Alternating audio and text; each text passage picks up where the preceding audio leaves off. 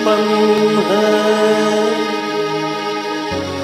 दूसरा जवानी है।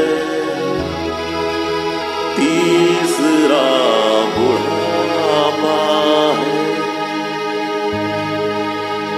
और उसके बाद, माँ नहीं, बाप नहीं, बेटा नहीं, बेटी नहीं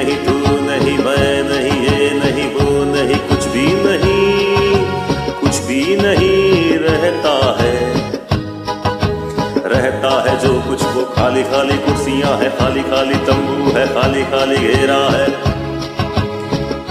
बिना चिड़िया का बसेरा है, न तेरा है,